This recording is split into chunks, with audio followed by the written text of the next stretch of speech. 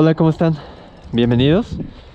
El día de hoy queremos mostrarles un Challenger modelo 2014 y particularmente porque es el B6. Estamos indecisos en subirlo o no, o compartírselos o no, porque nosotros somos la idea de que un americano, un pony car, pues tiene que ser V8. Este coche la verdad nos sorprendió bastante. El 6 cilindros es súper suave, sin embargo tiene suficiente poder. No se siente un coche lento. Este definitivamente al traer el V6 se convierte en un GT, en un coche para para casi diario me atrevería a decir. Es un auto sumamente cómodo, la suspensión es, bastante, vamos a decirlo, aguada. Vamos a comenzar con el diseño. Esta es la primera generación del, del Challenger justamente, que si mal no recuerdo salió en el 2011. Y a partir del 2011 poco ha ido cambiando. Los nuevos modelos tienen faros LED, y calavera separada en dos partes, pero en general es, es prácticamente el mismo diseño. Por lo tanto se mantiene muy bonito. Es un diseño muy, ¿cómo le podemos llamar? Atemporal y no se ve viejo. Eh, y definitivamente en el color rojo destaca bastante. Y acá atrás, no sé qué les parezca a ustedes el diseño. A mí en lo personal me encanta visualmente el Challenger. Si hablamos de los tres americanos, Challenger, Camaro y Mustang, estéticamente el Challenger definitivamente se me hace el más, el más atractivo. Pues en cuanto a exterior, eh, no hay mucho que ya no conozcan de este auto, ya tiene bastante tiempo en producción. Vamos a comenzar mostrándoles el motor.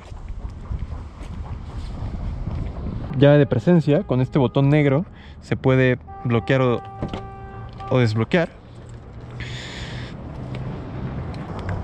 La cabina es muy espaciosa, ya les mostraremos en su momento. Para abrir el cofre se jala esta palanquita que tenemos aquí en la parte inferior. Y vamos a mostrarles el motor de, de, este americano y les repito, en un principio pensaba que este no era un motor digno del auto pero nos ha dejado bastante sorprendidos es un un motor muy suave, es la mejor manera de describirlo. Es muy muy suave, hace muy poquitas vibraciones. Se siente como un coche más, como de una gama más alta, me explico, como un Mercedes-Benz, un BMW, que hacen poquitas vibraciones cuando lo prendes, comparado a un americano, que casi siempre, inmediatamente que lo prendes, el motor siempre está vibrando. Este 3.6 litros entrega 306 caballos, 305 caballos, perdón, y también aproximadamente 300 libras-pie de torque. Eh, ¿Cuál es la ventaja? La ventaja aquí es que justamente por ser el V6 es el más ligero de todos los Challengers. Es el más ligerito de todos los Challengers. Por lo tanto, es el que mejor se maneja. Eh, respectivamente el chasis obviamente por el peso es muy ágil en las curvas. No traemos llantas de tanto agarre como, como un SRT pero el, traer muy poquito peso en la parte frontal justamente le quitas ese peso extra del 8 cilindros, se maneja muy bonito, muy pero muy muy bonito. Vamos a mostrarles los interiores. Y pues, lo primero a destacar es que es un coche bastante espacioso. Eh, de hecho, el coche, el coche en sí es bastante grande. Por fuera es un coche ancho, es un coche largo, pero no, no está lo menso, digamos, te ves recompensado. Aquí en la parte interior definitivamente es un coche sumamente espacioso. Para hacer dos puertas está, está gigantesco en la parte interna. Entre el Camaro, Mustang y Challenger, adentro definitivamente el más cómodo es el Challenger de las tres propuestas. Y de su época, repito, este es del 2014, pero salió desde el 2011 es el más cómodo y el de mejores acabados de esos años. Ya dentro de la cabina, lo primero que llama nuestra atención es esta palanca que hace homenaje al Challenger original de los 70. A mi parecer no era lo más atractivo, pero ya manejando es de lo más cómodo. Eh, tenemos ignición con botón, vamos a poner ignición. Y Vean la palanca, tenemos el logo de Mopar, es una pieza Mopar, está muy pero muy muy cómoda al momento de manejar. Repito, a lo mejor no es lo más no es lo más bonita visualmente, pero definitivamente rinde un buen homenaje y al momento de estar manejando es bastante bastante práctica.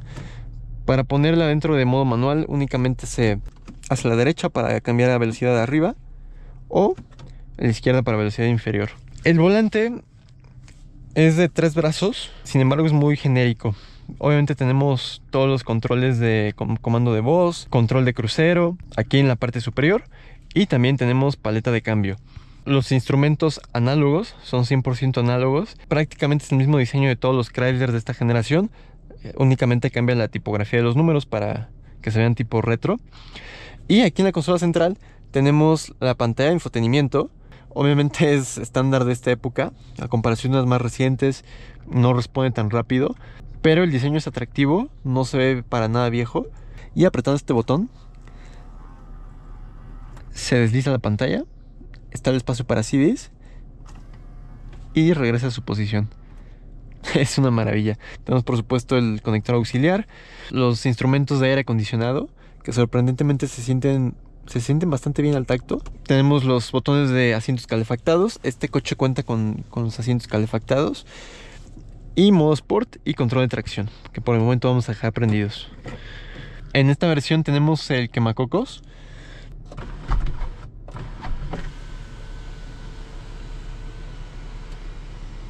Es un quemacocos muy grande y ayuda a que no se sienta eh, claustrofóbico. Vaya, el techo está bajito, los postes están muy gruesos. Ese poste C, ya en el camino lo van a ver, es pésima visibilidad. Un poquito mejor que el Camaro, pero aún así es pésima visibilidad. Cuando tú estás volteando y quieres salir o anexarte a carretera, no ves, pierdes bastante ahí. El tener este quemacocos tan grande ayuda a que no te sientas tan encerrado, por lo mismo.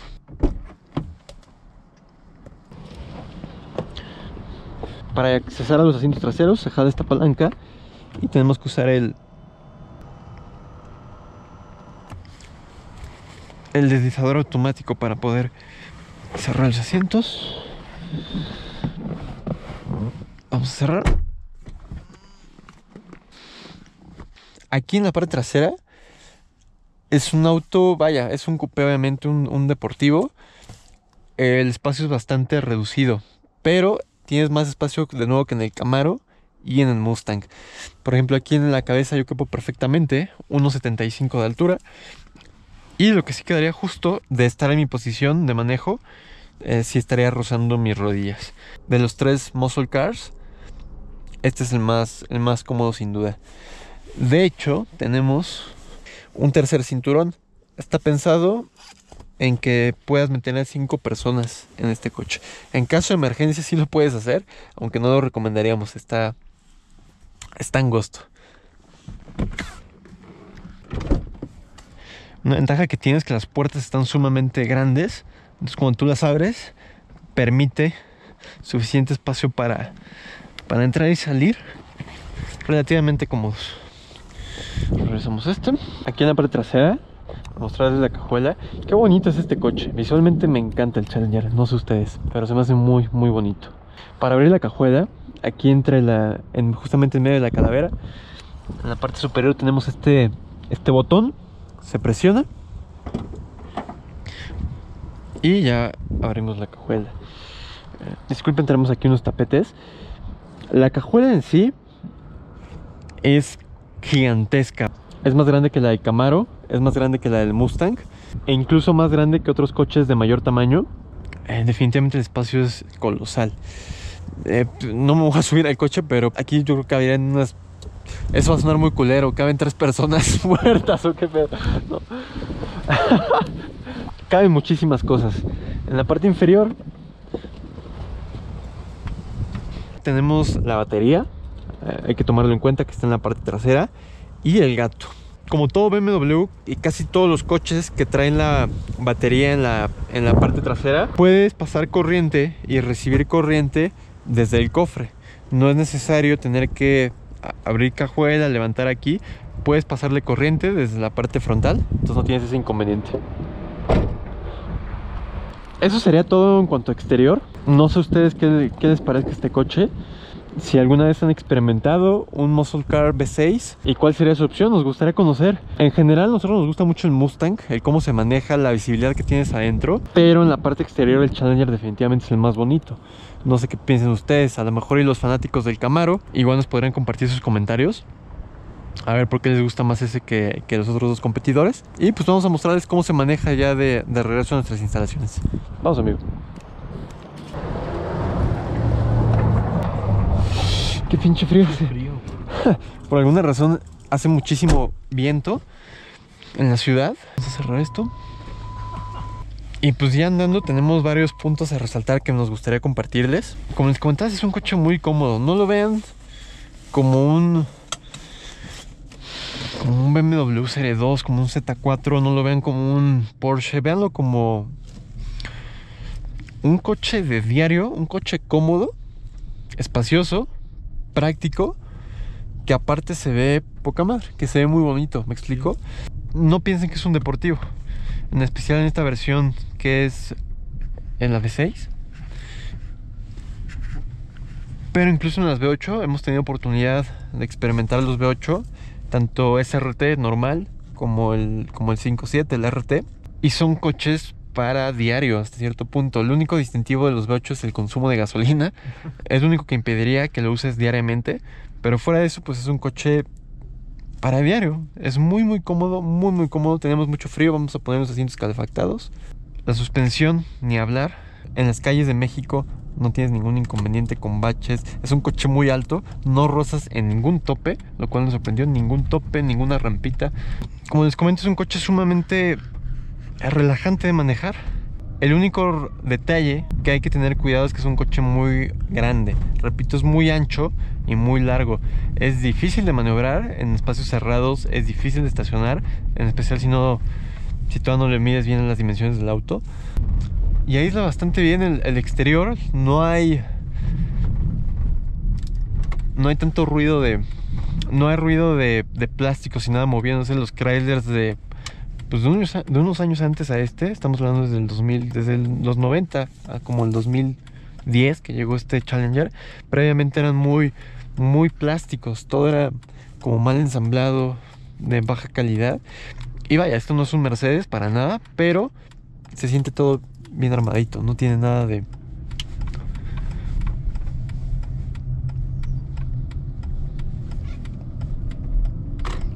Nada le rechina ni, ni, ni tambalea, todo está bien armadito. Incluso ya, ¿cuánto tiene? 8 años de este Ujú. modelo y todo se siente bastante bien. Pues por supuesto la visibilidad a tres cuartos, como les comento, es, es bastante pobre en- es muy difícil ver. Afortunadamente ahorita tenemos pasajero y me puede ir ayudando para cambiar de carril y demás. Pero andando solo definitivamente hay que tener doble precaución antes de, de hacer cambios de carril o anexarte a carretera. El motor de 6 cilindros, como les comento, es ya es conocido el Pentastar de la familia de Chrysler y suena bastante bonito. Ahorita que tengamos oportunidad voy a acelerar un poquito más para que lo escuchen. La palanca como les comento es muy útil. Ya andando es bastante ergonómica para la mano. Y para entrar en modo manual únicamente se le hace un toque a la derecha. Inmediatamente entra un cambio de retroceso.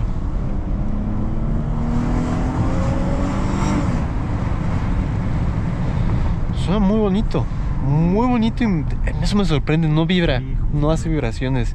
Coches con motor más chiquito cuando les exiges tienden a hacer pues, vibraciones porque hasta cierto punto le estás exigiendo más, ¿no? Que a su contraparte de mayor tamaño. Curiosamente, este 6 cilindros se siente más como seda, no sé cómo describírselos. El motor es más suave en cómo entrega la potencia que el 8 cilindros, lo cual es espectacular. Obviamente el Hemi pues es una belleza de sonido, de poder, pero este no canta mal las rancheras, es una es una excelente propuesta para diario, repito. Es un coche muy muy cómodo. Y también cabe resaltar el, el presupuesto.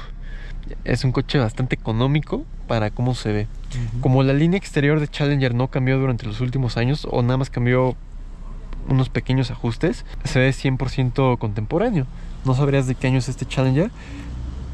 No puede ser, hay tráfico en toda la ciudad.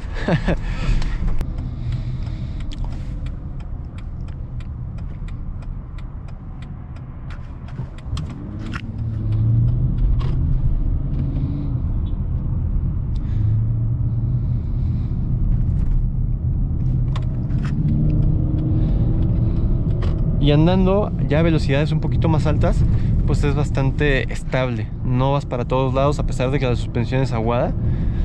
Se mantiene. Definitivamente pues no va a ser un la misma respuesta que un BMW o algo similar. Qué cómodo, ¿no? Sí, es muy cómodo. La vista frontal es, es perfecta, eso sí. Repito, es un coche ancho, pero tiene visibilidad perfecta. Los espejos son chiquitos. Es algo que dificulta un poquito la, la precisión cuando vas manejando. Tienes poquita vista hacia atrás porque los espejos son de tamaño reducido. Pero tu vista frontal está bastante abierta. Y en cuanto a respuesta de motor, a ver si ahorita tenemos oportunidad de acelerar un poquito más. No, tenemos bastante tráfico. Pasamos el tráfico y los alcanzamos más, más adelante, donde tengamos un espacio para acelerar. Y bueno, ya con espacio más abierto, podemos mostrar un poquito más del desempeño del coche.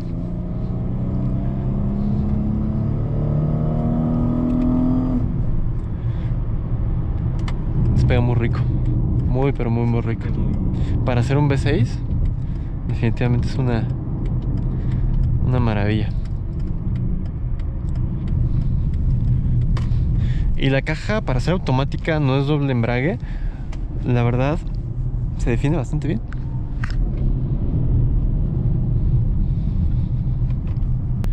En cuanto al sistema de audio, pues suena bastante normal, la verdad. No podemos mostrárselos ya que esta unidad en particular no cuenta con Bluetooth, únicamente con el cable auxiliar. Sin embargo, no tenemos cables para conectar el teléfono. Entonces únicamente tenemos música pues con copyright. Nosotros podemos mostrar, pero suena, suena bien, suena decente. Para hacer un sistema de audio de un coche de gama, digamos, media, de hace, ¿cuántos ya? ¿8 años? Pues suena bastante bien. Ya con un poquito más de experiencia tras el volante, es ya un poquito más fácil de posicionar. Sin embargo, sigue siendo un coche muy... Tienes que tener muchísimas precauciones o incluso Serie 2 de BMW, MX5, los pseudo deportivos o deportivos que les hemos podido mostrar en nuestro canal, pues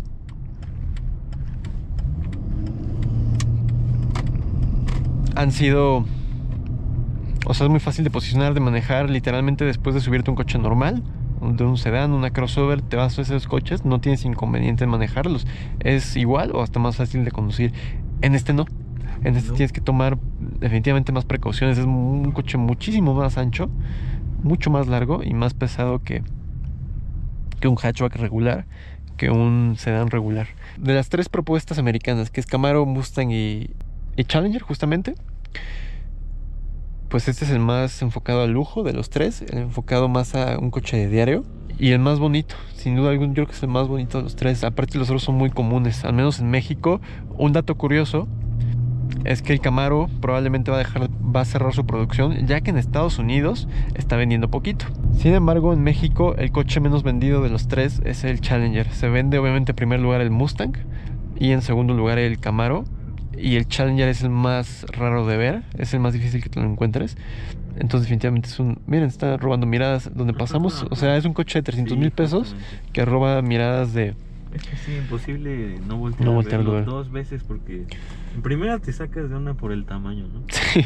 Y después por el color, que sin Es- duda es es estándar, pero sí es muy llamativo, es muy bonito. el- En el- este tipo de coches, ¿no? Sí. No sé si en cámara se vea igual, pero en persona ya vimos que sí atrae. Ese sería el distintivo de Challenger como tal. Es el más enfocado al lujo, de diario, más práctico. La cajuela es enorme. Por ejemplo, el Camaro tiene una cajuela relativamente chica y los asientos traseros son inservibles. En este sí los puedes usar. Está obviamente apretado, son dos puertas. Deportivo, pero es más que suficiente espacio. Muy similar a un Mercedes, a un BMW eh, para cuatro plazas. Eh, tanto el Camaro como el Mustang son de adorno los asientos, o para niños, para bebés. Entonces, punto para Challenger ahí, no tanto deportivo, pero más de un coche de diario. Ahora, vámonos a la versión, que este es el 6 cilindros, pero vaya que, que me ha probado equivocado, este motor es súper cómodo, súper cómodo, como mantequilla se siente, es la mejor manera de describirlo, como mantequilla, se desliza muy bonito y suena precioso. Ahorita en carretera no se los podemos mostrar, rebasando esta Jeep vamos a tener una mejor oportunidad de para que escuchen el motor. Tantito. Ándale. Y corre decente, no es un- una locura, lo cual es bueno porque un Hellcat así es demasiado. Digo, está padre, pero sí es demasiado. Escuchen este.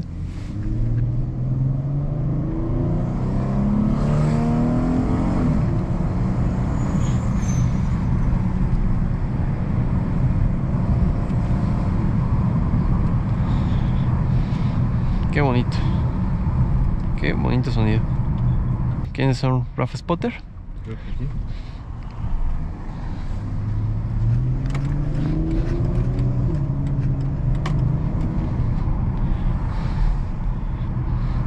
Creo que Kenny Spotter.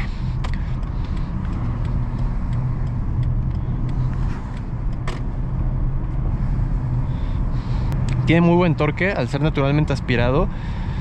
300 libras pie, pues ya no son tantos como hace 8 años, pero son así más que suficiente. Creo que no saben que es continua. Sí. ¿Nos la pasa la camioneta? Sí. Tiene buena presencia, ¿verdad? O sea, Sí, te dan permiso, los coches no se te avientan. Todo lo contrario, un Fiat 500 que recientemente, ese no se lo vamos a compartir, pero nadie te da el paso, nadie te respeta en un Fiat 500. Les comento, miren qué espacio tengo que pasar para poder medir. Está un coche muy ancho. Pero qué bonito se maneja. Ay, ¿para qué? ¿Para quién sería ese tipo de, auto? Pues podrá ser un estudiante. Podrá ser para un estudiante, podrá ser para gente joven que no quiere tener los, uno los riesgos y dos los gastos de traer el V8, ¿no? Y de traer un coche deportivo. Este siendo el 6, pues no tienes inconveniente de mantener es más fácil. De nuevo la gasolina es mucho más accesible, no, no gasta tanto. Y se maneja bien bonito, bien, bien bonito. Entonces con eso concluimos. Eh, ¿Con cuáles se quedarían ustedes? Háganos saber. En versión V6 o EcoBoost de Mustang, V6 Camaro. Ay, estaría difícil. Es que el EcoBoost también es sorprendido, pero traer un Mustang 4 cilindros, quién sabe, ¿no? Como que es una falta de respeto al coche, pero también es muy bueno el EcoBoost. Como coche, como coche, como coche, es muy bueno. Entonces no sabría si EcoBoost o este en la versión 6 cilindros. ¿Tú con cuál te dirías, amigo? De los tres, en esta versión 6 cilindros. Yo creo que con este, porque pues sí, justamente es comodidad lo que está ofreciendo y se siente muy bien el coche, a pesar de que es ancho y muy largo, siento que para ciudad y está bien. Es muy cómodo y es muy práctico. Justamente. Porque el, el Camaro, me quejo yo de la visibilidad, pero el Camaro tiene peor visibilidad, peor plazas traseras, cajuela más chiquita y es más rígido.